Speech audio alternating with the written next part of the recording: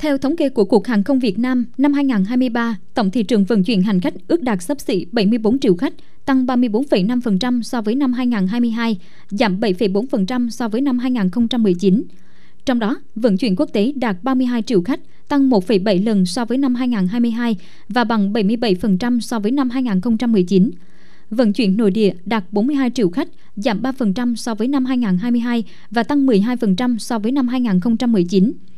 Cục Hàng không Việt Nam dự kiến năm 2024, sản lượng vận chuyển hành khách ước đạt 80,3 triệu khách, tăng 7,1% so với năm 2023. Trong số này, hành khách nội địa là 38,5 triệu khách, giảm 10,5% so với năm 2023. Hành khách quốc tế là 41,8 triệu khách, tăng 30,6% so với năm 2023.